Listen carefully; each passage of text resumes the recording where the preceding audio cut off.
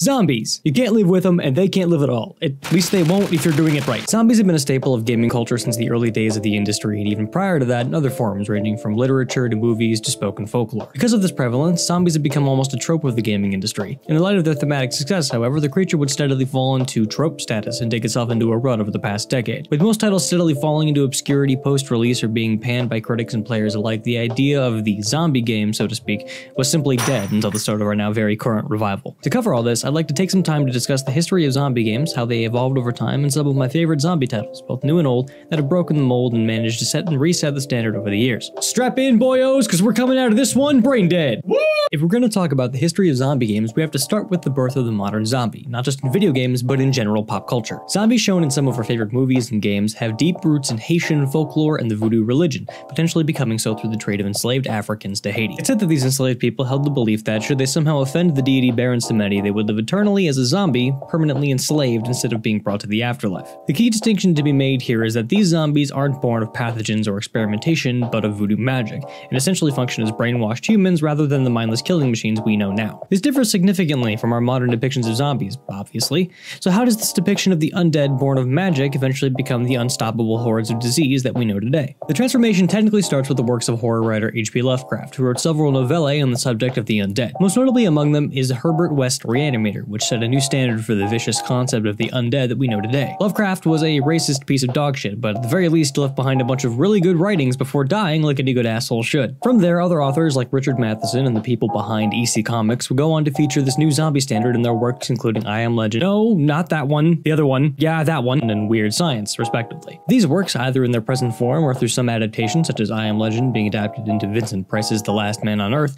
will lead to the now famous George Romero's production of Night of the Living Dead. Night of the Living Dead, though produced on a budget of just $114,000, would go on to be one of the most successful zombie movies ever made, and popularize this concept of the undead to mass audiences. Fun fact, Romero used the brainless hordes of zombies as a stand-in for the racist ideology of the South in the 1960s. Feels good to know that the work done by a racist prick from the 30s was turned into a progressive story about racial injustice in the 60s. Fuck you, H.P. Lovecraft. With the popular idea of zombies now commonplace in popular culture, zombie films remained particularly strong in the West throughout the 70s and 80s. With the birth of video games running parallel to this phenomenon, it was only a matter of time before the two came together in some grand correspondence. This grand correspondence was the Quicksilva-produced game Zombie Zombie. Maybe grand was too strong a word. Zombie Zombie was a ZX Spectrum computer game released in Europe, and nowhere else, thank god, in 1984. The general premise of the game was to use a helicopter to lead zombies up tall geometric buildings and guide them off the edge for points. You really can't make this shit up, can you? Zombie Zombie is not only the first game with the style released by Quicksilva, it's also a sequel to the thematically unrelated title known as Ant Attack, which was basically the same fucking thing just with ants. Look at this shit, man. This is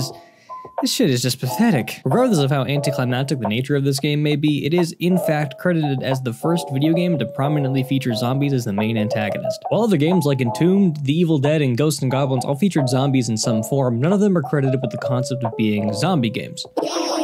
For setting the bar super low. Zombies will go on to be featured in games ranging from Zombies Ate My Neighbors and Alone in the Dark 3 to early entries of the Doom series, each appearance taking on a slightly different form. While appearances of zombies across titles kept the idea of the flagship monster alive, it wasn't until 1996 that gaming saw two of its biggest players in the zombie game genre, House of the Dead and Resident Evil. It's at this point that I feel we can divide zombie games into two applicable genres, survival horror and action action arcade, each being piloted by Resident Evil and House of the Dead respectively. On the survival horror side of things, Resident Evil took the world by storm, showing how effective a proper setting and puzzle resource management gameplay can be to create the feeling of sheer terror. I mean, look at this cutscene you get not 15 minutes into the actual game. If that doesn't set the scene for you, nothing will. The fixed camera angles, limited resources, and nearly indestructible lumbering dead that could be around any corner revolutionized the capability of zombies to be as good as any other horror icon. Gone were the days of Ghosts and Goblins Doom, when zombies were as easy to kill as mosquitoes, relegated to the lowest tier of cannon fodder imaginable. Now, the zombie is a truly formidable foe that takes skill and planning to overcome one way or another. This rebirth of the zombie remains relatively popular across survival horror-esque titles like the Half-Life and Dead Rising series, but with its own thematic changes from title to title. Even Resident Evil has played with its own concept of zombies from game to game, like the Las Plagas infected from Resident Evil 4 or the Molded from Resident Evil 7. Regardless of their appearance or difference of function, these permutations of the classic gaming zombie have allowed the classic appearance to live on over the years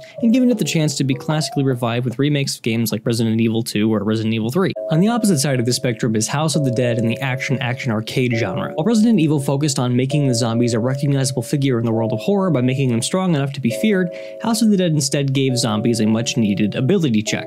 That is, it created the fast zombie. By pairing zombies that can now run and pose a vastly more significant threat with fast-paced light-gun gameplay, House of the Dead gave utility to the zombie, ultimately making them a much more substantial foe in the world of arcade gaming. This development and the formulation of the zombie has led to countless titles that use the runner format. This includes, but is not limited to, Left 4 Dead 1, Left 4 Dead 2, Call of Duty Nazi Zombies in all of its forms, Dead Nation, Red Dead Redemption Undead Nightmare, Dead Island, Dying Light, and Sniper Elite Zombie Army. If you can't tell, arcade zombie games are vastly more common than their survival horror counterparts. House of the Dead's reinvention of the zombie completely changed the course of zombie games and ultimately put us on a course to see countless titles with the sprinting hordes that terrify us with their sheer mass and ferocity. If you didn't know, we can thank House of the Dead for appearances of zombies in films like 28 Days Later, which used the running zombie design to distinguish themselves from zombie movies of the 70s and 80s. Additionally, 28 Days Later is one of several films credited with reviving the zombie movie concept, so technically speaking, House of the Dead saved both arcade style gaming and part of the horror movie industry.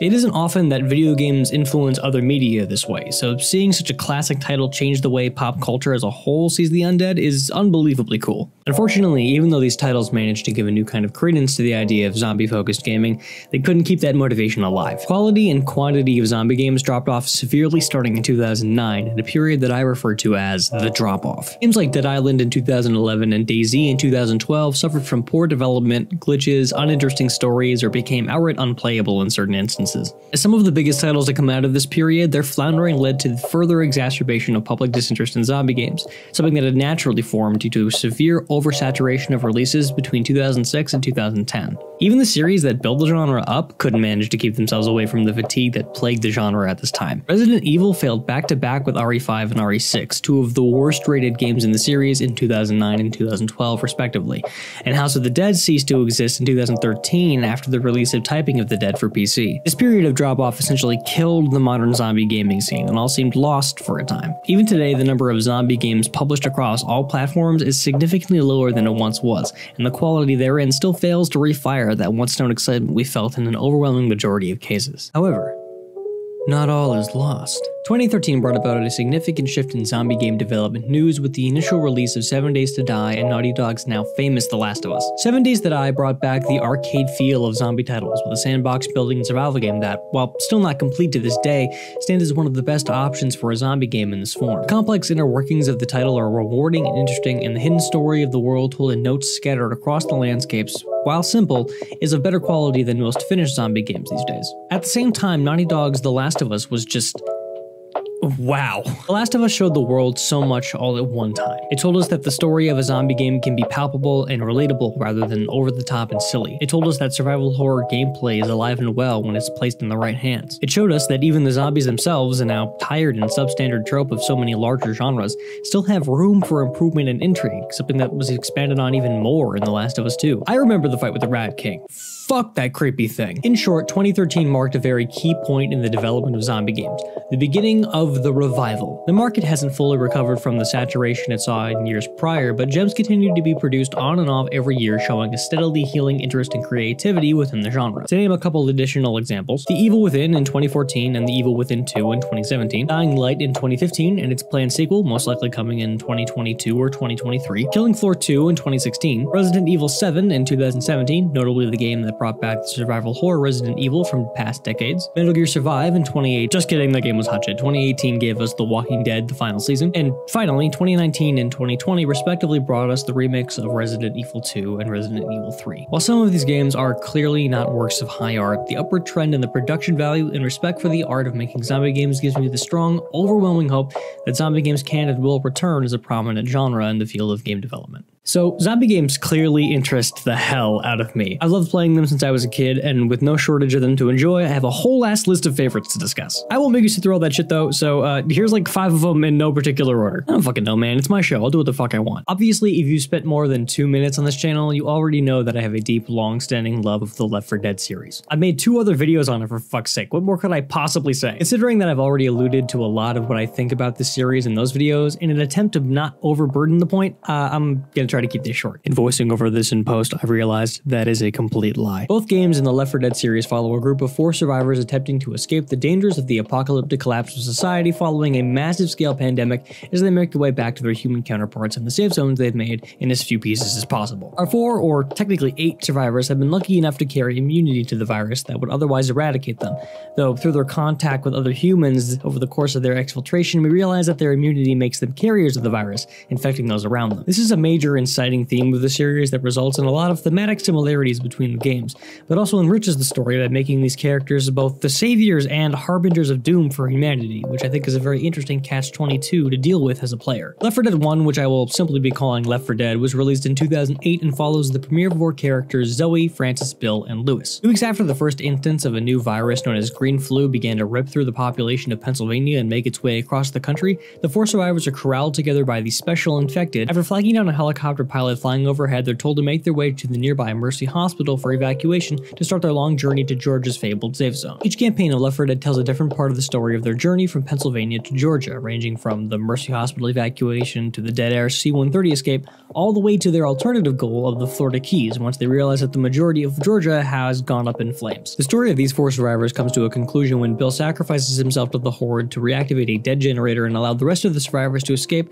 on a lift bridge that would take them to the safety of a boat headed for the Florida Keys. Left 4 Dead 2 was released in 2009 and follows a separate collection of survivors Coach, Ellis, Nick, and Rochelle. These survivors start out in Savannah, Georgia, and must head from there to a safe zone they've heard remains standing in New Orleans. Much like in the original Left 4 Dead, the survivors steadily make their way to their final destination, realizing that the infection seems to follow them wherever they go. In the end, they make it to the same roadblock as the survivors from the first game, the suspension bridge upon which the original survivors are now trapped. In exchange for assistance in getting them to the other side of the bridge, the original survivors promise to lower the bridge after they cross to allow the new gang to continue towards New Orleans. These two storylines, while often thematically similar, are carried on by and individually strong because of a few major factors. One, their differing characters. Two, the additional content introduced into Left 4 Dead 2. And three, the vastly differing and varied set pieces of the two stories. The characters between the two titles all have their own different stories and personalities that come out through some remarkably candid conversations, usually occurring during the beginning of campaigns while you're still in the safe room. This method of introducing the characters and having them interact with one another makes them feel substantially more relatable and is more valid way to further the lore of the series when a full-blown story is generally absent from the player experience.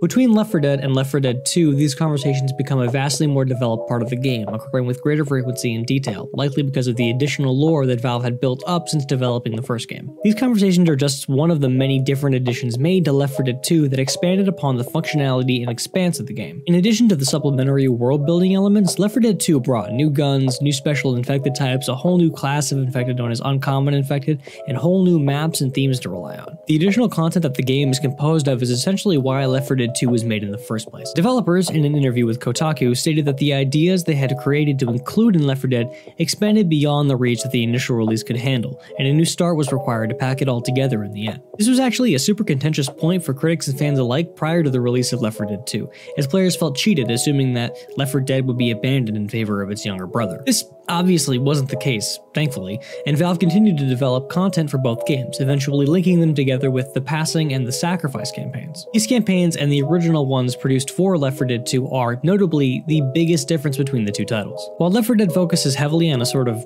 fire and brimstone, dark apocalypse kind of vibe, with blackened corridors, empty windows, and generally emptier surroundings, Left 4 Dead 2 has an entirely different thematic direction. As opposed to constantly dark and stormy or sickly looking world elements of the first game, Left 4 Dead 2 features substantially brighter levels in general, and the variations therein are of a much greater degree than Left 4 Dead. I think that these landscapes and the very much different themes they carry, despite being similarly violent and dilapidated, help keep the game replayable and enjoyable so many years after its original release. What's good to note here is that, should you wish to see these campaigns side by side for yourself, they were all made available in Left 4 Dead 2 through a patch at some point after the release. The thing think I respect most about these games is that they don't try to be more than they are. You shoot zombies, there are characters that are pretty damn cool despite being basically tropes from other zombie media, and there's a story that doesn't waste your time with ridiculous complexity or over-the-top spectacles. Frankly, the best way to describe it is clean, even though how gory it is, especially for its time, would suggest otherwise. Despite both of these games being over 10 years old now, I find myself coming back to them time and time again. The visuals and the gameplay hold up timelessly, and with the Steam Workshop there to tailor the experience to your individual tastes with maps and mods mods galore,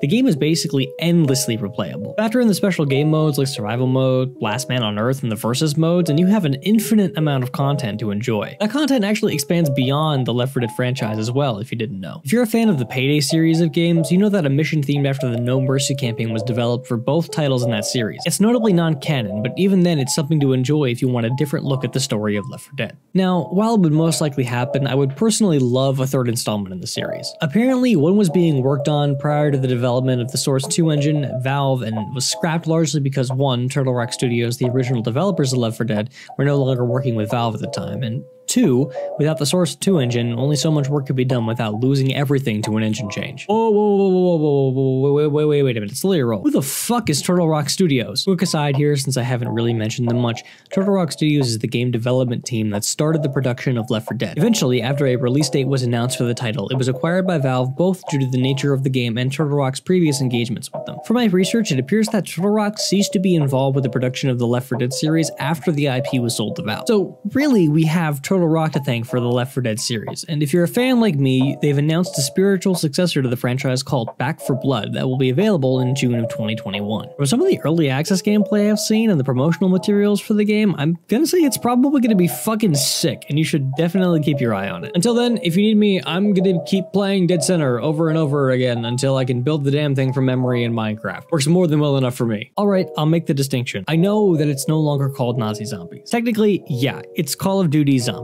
All of us OGs though, we know the truth. This shit is Nazi zombies. So let me set the stage for you. You're 13 years old and it's 10:30 at night on a Saturday. You've just finished shooting your way through Berlin, surviving a gunshot wound in the process, and in glorious communistic fashion, you cut down the flag at the Third Reich and plant that glorious red and gold beacon of sheer fucking willpower in its place. The credits have rolled and they come to a close. But there's more. Suddenly, you're blasted with this cutscene completely out of nowhere. Your plane has gone down, you're injured, the enemy is closing in, and above all else, something is very, very wrong. The shadow running at you from the distance closes in on you, and then BAM! Nazi zombies. That shit blew my mind as a kid. So aside from the fact that Call of Duty World at War is just a really damn good World War II game, and arguably one of the best games of the franchise itself, it gave birth to one of the best mini games ever, and it might as well be considered its own game at this point thanks to the limitless expansion it's undergone over the years. If you didn't already know, Nazi Zombies was actually never supposed to happen. Developers at Treyarch, while working on World at War, slowly and steadily started to play with bits and pieces of the game's assets, and one department after another came together to create what we now know as the famous Zombies mode. Essentially, the story goes that animators and scripters started to play with the animation for flamethrowered enemies, which became the shambling zombie animation we see throughout the series now which was built upon by the Treyarch dev team piece by piece until it was eventually pitched to their publisher Activision, who included it into the game, sans marketing or public display. All that basically means that Treyarch made this whole new piece of COD content that had never been seen before, and Activision was like, alright, we'll give it a try but we're not going to give a shit about it. At least that's more or less how Jason Blundell, the director of Zombies at Treyarch, describes it. I'm paraphrasing, obviously, but I think you get the gist. The end result was a massively successful co-op Easter egg mode that took the world by storm and proved that, despite the strict timelines they faced, Treyarch could create something of their own that would please even the most die-hard Call of Duty fan. Now, 13 years later, players have the Zombies mode of Black Ops Cold War in our midst, and I think we're enjoying it. I don't know, I thought it was pretty okay. Regardless of how you feel about how the concept of zombies has evolved within Call of Duty itself, it's undeniable that the wave-based survival mode was truly one of perfect simplicity. It was best when it didn't take itself too seriously and just let you rock and roll with countless rounds of ammunition and three buddies to revive you once you got cocky and tried to use a PhD flopper as your only weapon. Don't give me that look, I know you've tried it. Simultaneously, the fact that these bonus mode maps have steadily formed their own storyline through various Easter eggs hidden therein is perfect for those of us who love a good sci-fi action story. By including these hidden pieces of the puzzle throughout the maps of the original four expansions and on into Black Ops and later titles, Treyarch fashioned something different from anything else on the market for the dedicated players who really wanted to know everything. Now, the story is way too big and frankly way too confusing to discuss here, so I'm just gonna put up this screenshot of the timeline and let you guys go ham with that. Hold on, wait a minute. No, that doesn't make any sense. Doesn't that go before that? What the fuck is the Dark Ether? What the fuck am I looking at? Now, I'll admit, I have some very strong negative opinions about damn near everything that takes place in this story from like Black Ops 2 on, but that's a story for another video entirely. Despite those feelings, I have never been and will never be one to turn down the controller when zombies is on the screen. Some of my best memories of gaming with friends come out of my experiences with zombies, and I'm sure it's the same for countless people out there too. On top of all this, especially for PC gamers, Nazi Zombies is super easy to mod and make your own thanks to a set of developer tools released to us by Treyarch. Thanks to that toolkit, World at War is still kicking strong with custom zombies maps of all kinds to enjoy, from challenge and puzzle maps to story and narrative maps that are way more well produced than they have any right to be. If you somehow manage to miss this milestone of zombie game history, you'd be doing yourself an honor by going back in time and giving it a shot. You will not be let down.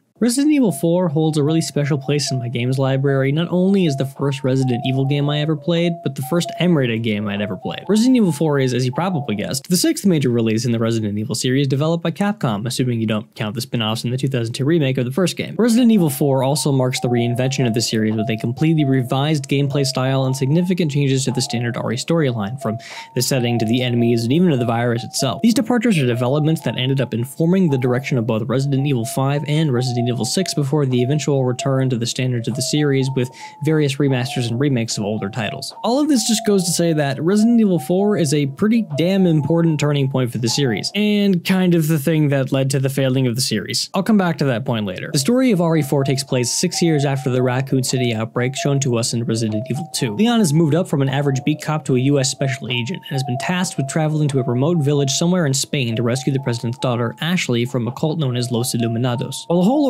seems like a relatively standard ransom demand at first, things very quickly spiral into the unnatural and downright horrific. Leon steadily discovers through the assistance of his newfound partner Luis and the return of the ever-famous Ada Wong that the Los Illuminados cult is anything but normal. The leader of this cult, Osmund Saddler, has taken control of the local population using a parasite known as Las Plagas, essentially creating a small army out of humans and various beasts alike, while making some seriously badass looking bosses along the way. I'll give him that. His intention was to kidnap the president's daughter, infect her with the parasite, and use that control to infect the president and begin his takeover of the world. Leon and Ashley, both now infected and resisting the growth and control of the parasite, have no choice but to fight their way out of this fresh hell and rid the world of the parasite before all hope is lost. Generally speaking, the story of Resident Evil 4 is one of the best in the series. The natural and witty writing given to Leon keeps dialogue and cutscenes interesting, and the interaction we witness between Leon and Ashley, as well as the greater cast of allies and enemies, is enthralling and detailed. I mean, tell me you didn't immediately know how awesome Leon was going to be in this game after hearing this one liner no more than like half an hour into the game.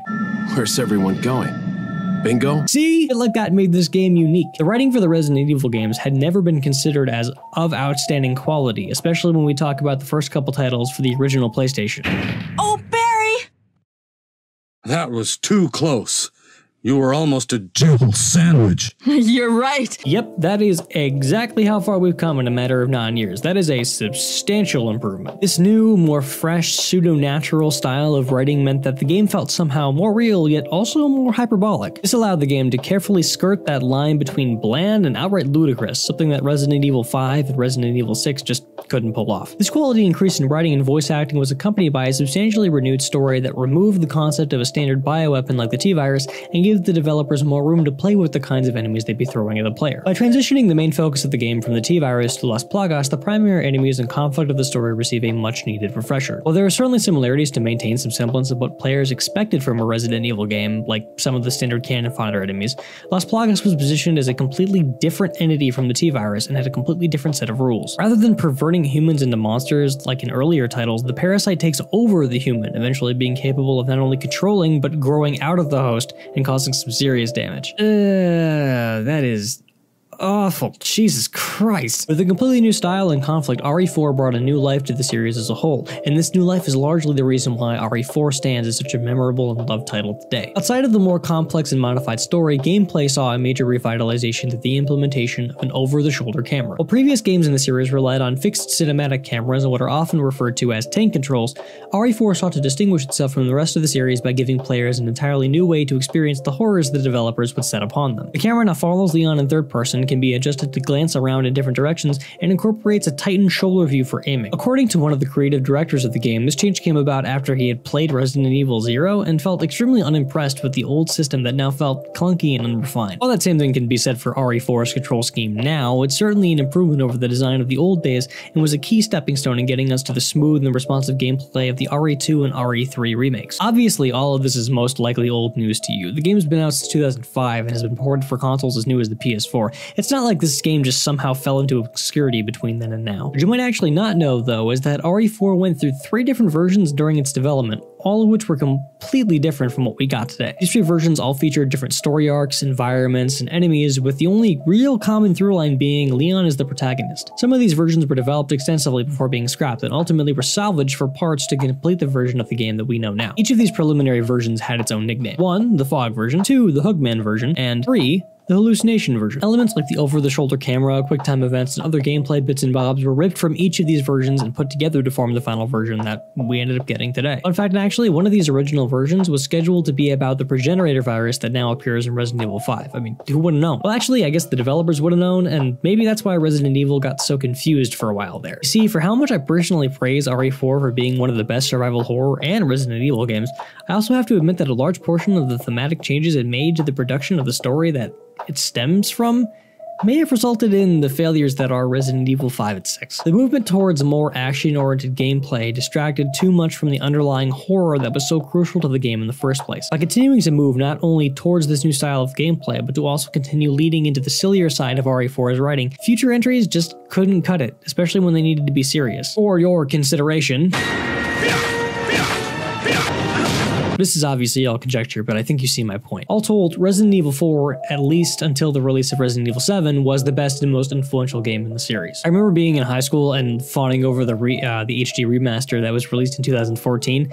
I got nerded out for a whole day by getting to go home and see the horror of my childhood plastered across the screen in glorious HD resolution. I hadn't considered at the time that the Dell laptop I was playing games on couldn't handle it all that well, but still, I had a good time with it. On top of that, many nights in my freshman year in college were actually spent revisiting the game, going through and like hunting down all the bonuses and stuff. There were many a night that I stayed up way too late for my own good, for way too many nights in a row just to beat the game. Speaking of remasters, I want to discuss the possibility of getting a Resident Evil 4 remake in the coming future. A little while back, I actually made a short standalone video about this, but I kind of hate that one now, so here feels like a more valid place to mention this. The newest entry in the series is going to be Resident Evil Village, set to be released on May 7th of 2021. This game appears to both be a direct sequel to Resident Evil 7 and also a spiritual successor to Resident Evil 4, featuring elements like the village setting, a, a similar inventory system, and even a weapons merchant they called the Duke. With this combination of information tells me is that Capcom is not only aware of the continued interest in Resident Evil 4 and a potential remake thereof, but is also willing to work with elements of the game in new titles, possibly to test the waters for functionality if it were to ever be applied in a remake. Again, Purely conjecture, solely speculation, basically outright guessing on my gut feelings. Regardless, if there was ever a PlayStation 2 or GameCube era game to pay for and revisit today, it would be this gem of survival horror. Oh man, I cannot tell you how long I've waited to talk about this series in a video. Killing Floor was introduced to me back in high school and instantly became my go-to shoot 'em up game for time wasting and hanging out with friends alike. I am very excited for this part. The original Killing Floor was actually a mod for Unreal Tournament 2004 that was released in 2005. The final version of this mod featured not only the standard wave-based combat that the series is now known for, but also a single-player campaign in the style of the usual first-person shooters of the day, like Quake or Doom. As janky as it may have been at the time, the total conversion was a massive success, leading to Tripwire Interactive, the company behind Heroes of Stalingrad, asking the mod's developer Alex Quick to sell them the rights and give it a standalone AAA release. As it would happen, uh, he said no. Eventually, as the mod got older and older and players began to lose interest, Alex reopened negotiations with Tripwire and bam! Killing Floor was released as a standalone title on a modified version of the Unreal Engine in 2009. The game looks prettier, plays smoother, sounds crisper, and has way more content in it than its mod conversion older brother, even with what you could consider as a light launch. What I think is really notable about this AAA release is that its development took a whopping three months and had roughly 10 people working on it. How is that possible? How does a whole ass game get developed in three months with 10 people working on it? What the fuck? I feel really shitty for only getting like one video done per month now. God damn. No matter how they did it, the game was made and, as I've been told, became the top seller on Steam for a time after its release. Players loved the macabre, dark air of the game and the consistent carnage of the gameplay, leading to a game that still sees a fair amount of play to this day. It's at this point that the underlying plot of the game needs to be brought up. Origin Biotech is a biological research company based in London that has been tasked with the study of cloning and genetic manipulation. While this goes well at first, the cloning specimens steadily grow more grotesque in appearance and violent in behavior. The operation eventually reaches its breaking point, the specimens escaping their containment, wiping out the science and security teams in the facility, and eventually breaking out into the city and beginning an overwhelming attack on civilians everywhere. In an attempt to keep the outbreak from becoming a colossal worldwide event, the English Special Forces tasks a handful of former Special Forces members, police recruits, really anyone that they can get their hands on, and commands them to eradicate as many Zeds as they call them as possible. It's pretty simple, frankly, but that's really all that it needs to be. In reality, this story isn't harped on almost at all in the gameplay. It just sets up the world in which the game is set more than anything else. Technically, the closest thing that we get to a story mode in the 2009 release is the objective modes, where players can play a handful of maps where they both fight off the Zeds and complete miscellaneous tasks. There aren't really any story assets therein, though. Again, the gameplay is emphasized over everything else here. So if the gameplay is so prominently focused on, how is it? Well, let me tell you, it yeah, yeah, it's pretty good. For a game from 2009 based on the Unreal Engine, Killing Floor is about as bog standard as a first person shooter can get. The gameplay at its core is relatively safe gun and melee combat, something that is fun on its own but could get tiresome quite quickly. To combat this, Tripwire, the geniuses that they are, implemented a couple very specific features to keep things moving along and fun. These include 1. Zed variants, 2. Ludicrous weapons, 3. Built in class systems, and gore. So let's work our way down that list. Most zombie games suffer a pretty lame cast of enemies. There's only so many cookie cutter zombies I can kill before my stupid lizard brain goes, alright, we're done here, and decides to go beat off in the corner or something. This is remedied with a lineup of visually and functionally distinct and interesting monsters that pose different kinds of threats for different reasons. You got the Husk who can fire fireballs at you with his arm cannon and blows up if you hit the tank on his back. You got the Siren who will make your ears bleed with the power of opera warm-ups. You got the Scrake who will make sushimi out of you if you get too close. You see what I'm getting at here? Tripwire threw every horrific idea they could think of at the player in terrifying, mutated ways,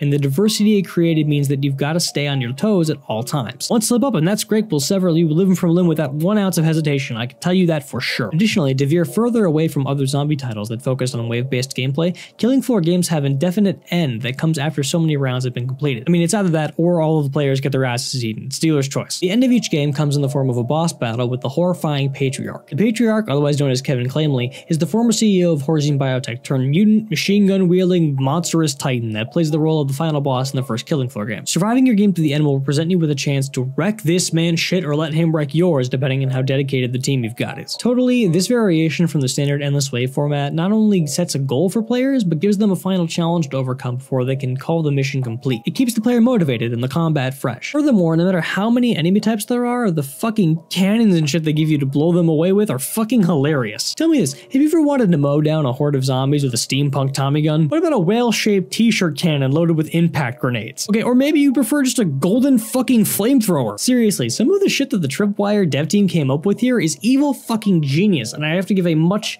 much deserved tip of the hat to them. It's fucking nuts, man. You can have essentially any kind of weapon you want in your hands. All you gotta do is kill some Zeds for cash and trek out to a roaming trader who, between rounds, will sell you any gun you've got the money for. What's even better is that these weapons of all shapes and sizes aren't just there to fluff out your number of options or copy one another, they have actual utility in Killing Floor's perk system. So, I don't know if this is something that existed in the total conversion from 2005 or not, but in the standalone release of Killing Floor, there are seven total perk choices. These perks function as a passive buff for certain weapons, things like reload speed, magazine capacity, or weapon damage, uh, player buffs like resistance to certain kinds of damage or movement speed, and discounts on weapons or armor associated with the player's class. These classes also have XP systems where if a player completes a certain action any number of times, the perk will level up and provide better versions of the buffs it was already granting, and at higher levels, bonuses like free armor or starting guns. Both of these systems, separate and together, create a substantial amount of content for the game by both encouraging the player to work through each perk to its highest level and giving them an arsenal to do it with,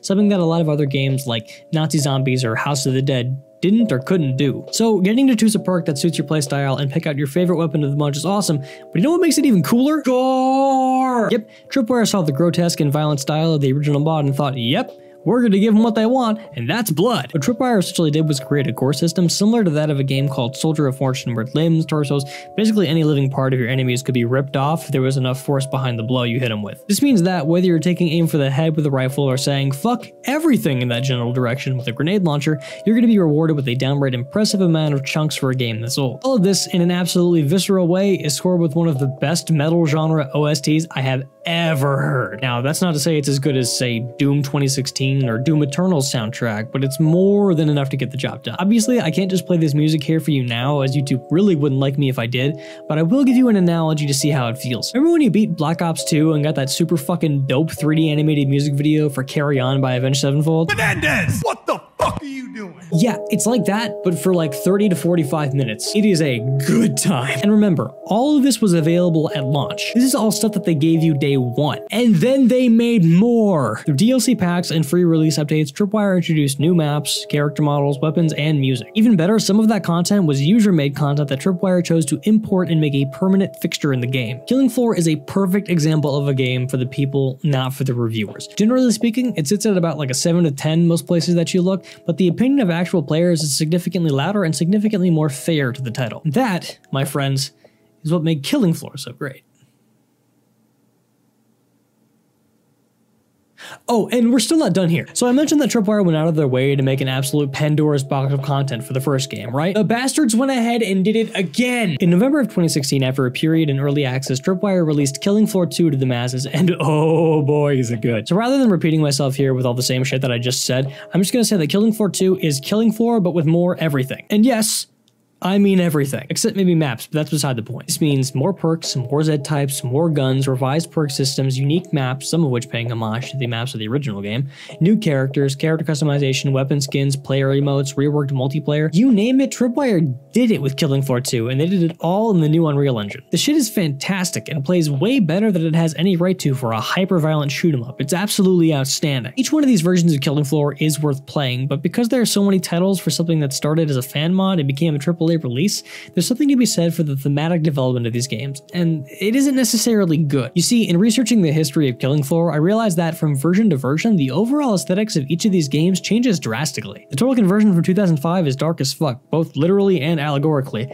and has a much greater focus on the horrific aspects of the Zeds than any other title. The models for Zeds, the guns, the maps, every ounce of this game's direction is dripping with the air of this is basically a horror shooter, a la Cry of Fear. From there, we get the 2009 release, which carries a lot of the same style of grit to its designs, but to a lesser degree. Things feel sort of cleaned up in a professional manner, but still focus on the inherently dark and fucked up nature that this game world is based upon. Finally, Killing Floor 2 goes off the rails different from its two predecessors. The level of grit is dropped way down in favor of a higher level of thematic carnage. That is to basically say that instead of dirty, rusty metal walls and a kind of disturbing medical experiment vibe, you get broken out shop windows and abandoned roads with car wrecks. To put it simply, it feels a lot more like a movie zombie apocalypse than the outbreak from the past two Killing Floor games. On top of all this, Killing Floor 2 goes all in on a substantially more sci-fi aesthetic than a horror aesthetic, replacing gritty medical equipment with high-tech versions decked out with neon. Don't get me wrong, I don't think this is a bad thing at all. It's just a super serious jump from what the previous games provided, and therefore could influence your opinion of each game that you play,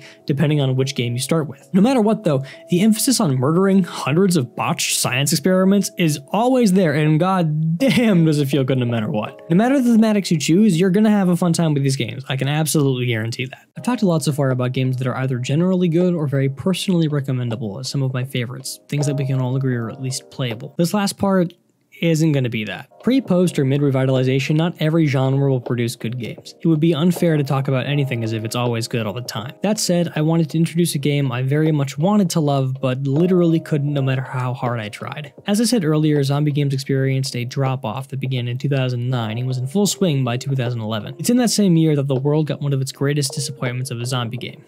Dead Island. Dead Island takes place in 2006 on the fictional resort island of Banoi, somewhere off the coast of Papua New Guinea in Australia. The primary focus of the story is a sudden, volatile outbreak of an unknown disease that rips through the island's population, turning them all into zombies. Our four main playable characters, Xian Mei, Sam B, Logan Carter, and Purna, Wake up the day after a massive party at the Island Resorts Hotel and realize that everything has gone to shit over the past 8 hours. After attempting to make their way out, failing as a horde of the now brainless vacationers attempt to strike them down, the survivors are saved by a lifeguard named Sinamoi and taken to a hideaway filled with others who have escaped death. Encounter with the infected leads to the discovery of your immunity to the virus, and now, as the only ones truly safe from the hordes outside, you must go on a long march across the island, save the survivors, uncover the mystery of the virus, find a cure, and get the fuck out of there. Honestly, a story like that may not be something stands out much anymore, or even back in 2011, but the prospect of a new zombie game that was shown to have strong thematic elements enticed a lot of people, myself included. What exactly do I mean by strong thematic elements? Let me explain. This demand for a significantly more serious or dark zombie title largely comes from the deeply emotional promotional content that Deep Silver, the people who developed Dead Island, produced for the game's announcement. The now famous and frankly stellarly produced trailer featuring the onset of the outbreak played out in reverse from the perspective of a regular vacationing family is burned into nearly every gamer's head who saw it back in the day. Even if the visuals are a mystery to you, that slow, somber piano tune playing in the background is instantly recognizable. Damn, that actually kind of hurts to listen to. Well, this initial announcement gave us all the idea that this zombie title was going to be one of the most serious we've ever seen. The product that was delivered was not only extremely thematically different, it was also packed with issues with the gameplay, story, and just overall quality. Nearly every facet of this game can be picked over and critiqued in a not so nice light, something that is extremely emblematic of the drop off as I explained it earlier. So, the plan here is to go over everything that this game did and how it was done wrong, and what that meant for the zombie game genre as a whole. Strap in, I'm not going to be very nice. Firstly, that promotional material is extremely problematic in the sense that it in no way reflected the story or thematic nature of Dead Island. Initial promotional material or not, you can't just release something genuinely moving and engaging like that and then deliver something totally different. What part of that trailer's theme is translated to the final release of Dead Island? None of it. I know this may seem like a super weird thing to harp on, but let me give you a more relevant example to explain why this pisses me off so much. The Last of Us Part 2. The first trailer for The Last of Us 2 had nothing to do with the final story of the game and was not representative of the experience players got at all. It's the same thing with Dead Island. If you're going to set the expectations and you're going to set them high, you have no choice but to follow through. It is a necessity at that point. Ultimately, that is where Dead Island fails the hardest. Its theming and, as a direct result, its story. Credit where it's due, the first act of Dead Island's story is genuinely interesting. The combination of new characters, lots of questing, a solid variety of locations to visit, and the frankly beautiful setting of a tropical island resort make a strong start for the game, especially if you're focused solely on gameplay. Even if you are focusing on the story, it's the strongest here out of any of the game's acts. Having to work with every survivor you've met so far, save others from the infected, and even find a way out of the resort and into the neighboring city brings about a lot of really fun moments and a lot of variation in characters and ideas. It starts off so interesting, and then that ends so quickly. Frame of reference, here's the synopsis. After being saved by Sinamoi, the survivors make their way to a nearby Coast Guard tower and clear out the infected inside so that the susceptible population that still remains human can have a permanent base to exist inside. After clearing that space out and settling everyone in by completing their quests, Sinamoi sets you on your way to find food around the resort. Quickly realizing that there just isn't enough food around to make ends meet, he sends the survivors to find an armored car that they can use to break through the blockade of abandoned ones on the road to the city and then search for supplies there. The second you set foot in the city, and that objective is over, the game is fucking done. The setting completely changes. One of the things that was so important to why the first part was so enjoyable is just gone now. The streets and alley of the city are cramped and uninteresting, and they resemble nearly every other zombie game on the market. On top of all this, despite the fact that you're here in the first place to help the survivors back at the resort, you're immediately introduced to a whole new group of people who are basically the same thing and require the same tasks to be completed, but the sole difference being you don't give a shit about these ones. Once you enter the city, any no novelty the game had goes out the window basically, and the formularity of its design becomes deathly apparent. Furthermore, the story just keeps tanking on, devoid of twists or turns or substantial conflict, and ultimately flounders without a purpose. The one thing that the first trailers for this game suggested was a story worth listening to, something serious and palpable. We got nothing of the sort. What about the gameplay though? If we step away from the writing and focus more on the player experience, how does the game hold up? Poorly. In fact, about as poorly as the story. So Dead Island does have an advantage here, and that would be the fact that it emphasizes melee combat over gunplay, something that a lot of other first-person perspective zombie games have relied on as the basis for all of their gameplay. This focus on a less common style of combat meant that the initial moments of Dead Island were not only challenging, but also interesting, as the tech and recipe trees for enhancing and modifying your weapons opens up relatively quickly. Too quickly, in fact. Even with a relatively interesting limb targeting system that allows you to dismember your undead assailants, the novelty of this approach grows old quick when the enemies you encounter lack substantial variation and the weapons manage to control essentially identically to one another. To have this moment that I realized, and likely you will too, that without the space to maneuver or, or an environment to be immersed in, nothing will be as good as the first moments you spend on the island, in or out of combat. Honestly, there's a lot more that I could discuss here, but in the interest of keeping this particular part short and to just summarize all of this in a few words, I give you this. That island had every chance to impress us with its story, gameplay, environments, mechanics, everything. Yet every single one of those facets very quickly grows stale and bears no significant difference from the content found in any other mediocre first person action game. Combine that with the game being so unstable at times, even after all the post launch patches, that crashes, graphical glitches, and performance issues stagnate any forward progress you could make, it's just dead in the water. That island is dead in the water. Altogether, the elements that Island was built on are faulty and uncompelling, leading to an absolute mess of a production that simply could not slow the steady collapse of the industry that allowed it to exist in the first place. So those were the major players I wanted to bring up in all this. For as long as it took me to get through all of those, I actually do have a couple of honorable mentions I want to bring up just to show you how zombies and zombie-like creatures appear in other genres or uh, other game types. The first Uncharted game was one of the first two titles I played for my PS3 back in the day, and god Damn, did I have a good time with it. The game has next to nothing to do with anything horror related, as it's centered around a duo's hunt for El Dorado, but once it's revealed that the treasure they're searching for is cursed, the game takes quite the turn towards the horrific. Specifically, I'm thinking of this moment. Oh shit.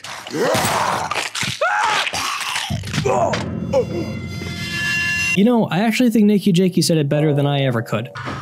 What the fuck? The portion of this game featuring these demonic zombie-like creatures is relatively short, but genuinely scary and fun, so here we are talking about it. Funny how conversations work like that, right? The Fallout series has always been one of my favorites, specifically the 3D titles that were produced by Bethesda. Fallout 3, New Vegas, and Fallout 4 don't really contain any content themed specifically around the idea of the undead, assuming you're not counting the stretch concept that is feral ghouls. That said though, DLC for New Vegas, Dead Money specifically, featured the Ghost People, mutated Sierra Madre survivors binded to their hazmat suits and irreparably distorted by the toxic cloud surrounding the expansion's titular casino. While it might be a bit of a stretch to call these monsters zombie-like, their movement and theming towards melee combat forms makes them modify the gameplay experience of the expansion to be reminiscent of traditional zombie titles. Additionally, the way you have to kill them factors in somewhat, as you have to sever their limbs to keep them from getting back up to fight you again.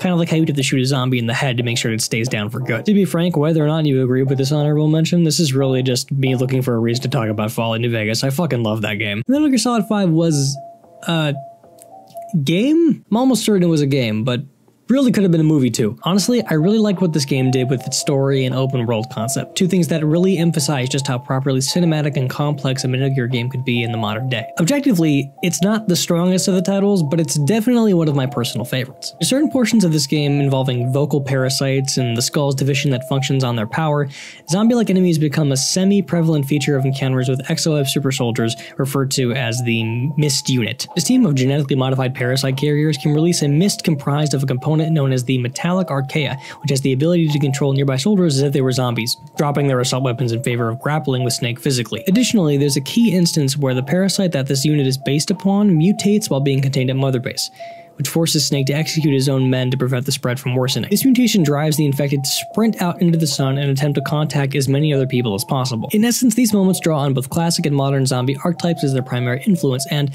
as such deserve an honorable mention here. I'll be completely honest, I don't really know if that was coherent or not. You really gotta play the game to understand half of what I just said, but believe me, it's worth mentioning. Flash games played a big role in my experience as a gamer when I was a little kid, and some of the best ones that I played actually were based around zombies. The first of the two that I feel like mentioning here is the SAS Zombie Assault series. This series of Flash games featured an SAS officer standing off against varied and endless hordes of infected with different types for as long as possible while upgrading their arsenal and bringing down as many corpses with them as possible. This series, as mentioned, started out as a browser-based Flash game, but has actually been ported to both mobile and PC with its fourth installment. I can't say that I recommend this one for a couple of I mean, kind of personal reasons, but if you're ever interested in a fun collection of free survival games, this one is more than good enough for an hour of fun here and there. The second Flash game I wanted to mention is Thing Thing. I have no fucking clue what a Thing Thing is, but I do know that it looks like this.